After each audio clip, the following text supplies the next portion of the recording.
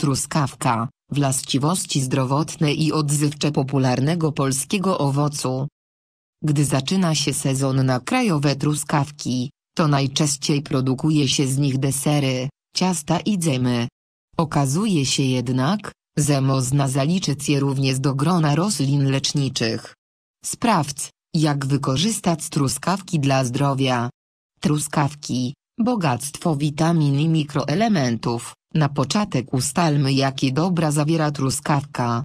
Znajdziemy w niej sporo witaminy C, a także witaminy z grupy B, B1, B2 i B3, i niewielkie ilości witaminy A.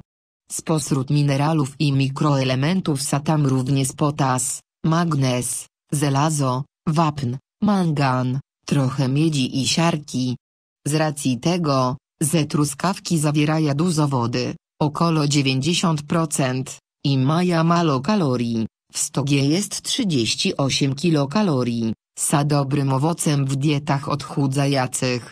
Truskawki, lecznicze właściwości, z liści i korzeni robi się wywary, które mają m.in. działanie moczopedne, przeciwreumatyczne, stymulujące pracę watroby, pobudzające laknienie, a także wzmacniające organizm i mające właściwości ściagające. Przekładając to na konkretne schorzenia, napary z liści i korzeni truskawek stosuje się przy dolegliwościach, watroby, dróg moczowych, w przypadku krwawień i zapaleń jelitowych, kamicy moczowej, reumatyzmu, dny upławów, a także przy astmie oraz podczas anginy. Truskawki, wykorzystanie całego krzaczka, jedynym mankamentem leczniczego wykorzystania truskawek jest fakt, że trzeba zniszczyć cały krzaczek. Owoce zjadamy, bo są smaczne i zdrowe, a z liści i korzeni przyrządzamy napary do wypicia. Liście truskawek mogą być też dodatkiem do zup. Truskawki, lekarstwo na biegunkę. Na biegunkę robimy napar z garści młodych liści na 1-2 litra wody.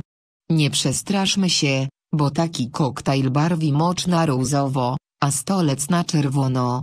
Truskawki, lek na reumatyzm, na reumatyzm, astmę i kłopoty z drogami moczowymi przygotowujemy napar z 30 g korzeni na 1 litr wody, zamiast tej ilości korzeni można użyć garść liści z korzeniami.